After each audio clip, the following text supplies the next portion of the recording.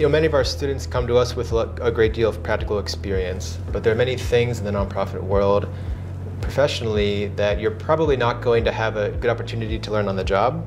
And really an academic setting is most appropriate for, for a lot of that kind of learning. So uh, we focus on a lot of that sort of content, or at least I do in, in my teaching. I think other faculty do as well. And it can really give you an edge in terms of perspective and in terms of confidence.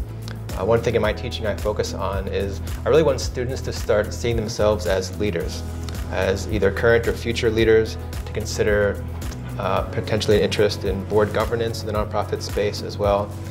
And I think part of the value of what we offer in our coursework at Baruch is that shift in uh, perspective and that increase in, in, confidence that empowers students to see themselves differently, to see their role differently, to see their future differently.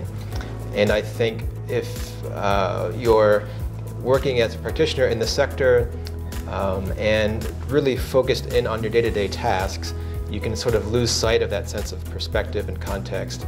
And uh, an academic education like what can, you can obtain here at Baruch helps you to step back, reflect, and think more deeply, more creatively about your career. So I think it offers uh, really a, a lot for our students in terms of their career advancement in many different ways. I did my first master's degree while working full time. And so I understand that experience of you know, always having your head in the work and not being able to pop up and look around and see what, what the rest of the world is doing or what the names are for the concepts that I'm, I'm um, engaging with right now.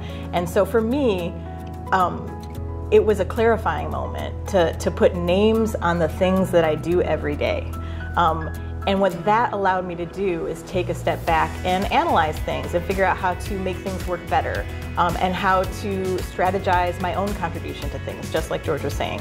So um, I think uh, many of us um, you know, when we, we came back to academia or came back to our graduate degrees, um, came looking for some answers. Um, and for me, I felt like I had hit a ceiling where I couldn't move much further um, in my organization, like quite literally, I needed a credential, but also I couldn't contribute as much as I wanted to because I did not have the vocabulary or, or the broader view. Um, and so going back to school to get my master's really helped me um, break that ceiling a little bit and also um, to, to help me contribute more to, to where I was working.